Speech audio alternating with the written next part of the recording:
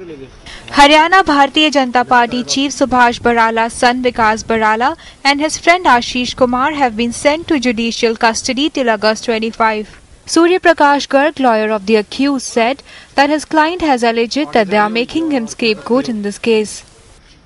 Bail के लिए अ, आज मेरी थोड़ी सी कोर्ट में लड़के से बात हुई है डिटेल में कभी उससे बात नहीं हुई है क्या कहा अ, मुझे वो भाग के मिलना चाहता है वो पुलिस के सामने कोई डिटेल बात हो भी नहीं सकती थी। तो उसने मुझे ये कहा कि मुझे स्केप गोट बनाया जा रहा है। किलो मत बलि यार का बकरा मुझे बनाया जा रहा है। मैंने कुछ नहीं किया है मेरी बेल होगा आज रो भी रहा था। मैंने ध्यान नहीं दिया रो रहा था। लेकिन फैमिली से इंस्ट्रक्शंस ये हैं कि कानून को अपना काम करने दो।